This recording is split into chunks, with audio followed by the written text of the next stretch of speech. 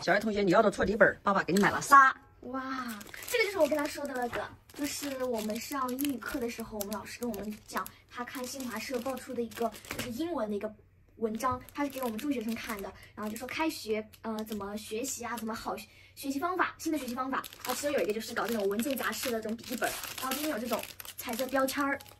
这个是咋用的？我最讨厌你这样翻东西了。哇，对不起对不起，你每次看完书都是卷卷的那种。啊，我错了。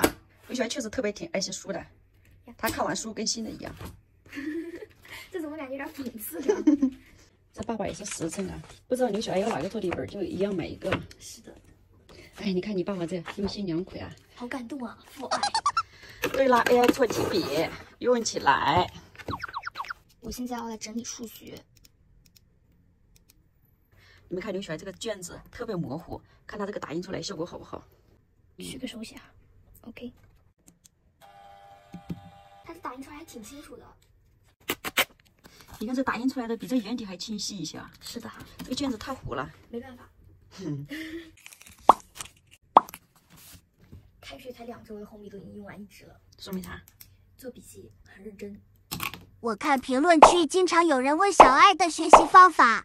首先，我想声明，小爱同学不是学霸，因为他在学习上没有天赋，只是笨拙的努力中。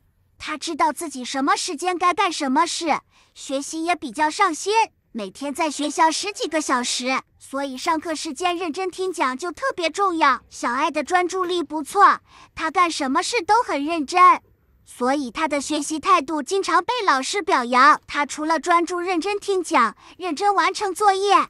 然后就是研究好每道错题。他是一个很有想法和追求的人，所以会自我要求。放学后，我们也会尽量给他一个轻松愉快的家庭氛围，及时排解他的学习压力。对着书拍出来的好清晰啊！你喜欢那么模糊的试卷都能给他拍的那么清晰。现在你们虽然很辛苦，但也很幸福呀。我们那个时候，学业你们没你们辛苦，但是没有这些高科技玩意儿帮助学习，知道吧？